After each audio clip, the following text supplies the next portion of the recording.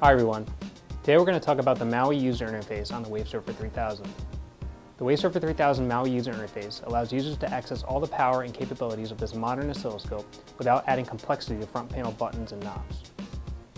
This is accomplished through the use of intuitive touchscreen where the user can access important controls, zoom waveforms, move cursors, configure measurements, and interact with results.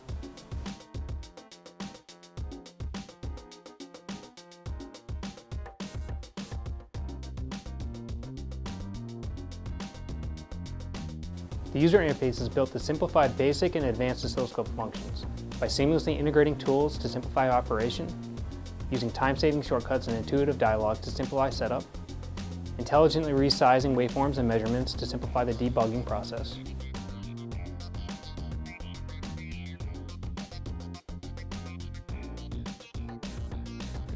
The user interface also helps solve problems by measuring all aspects of the waveform, and offering deep debug and powerful analysis tools.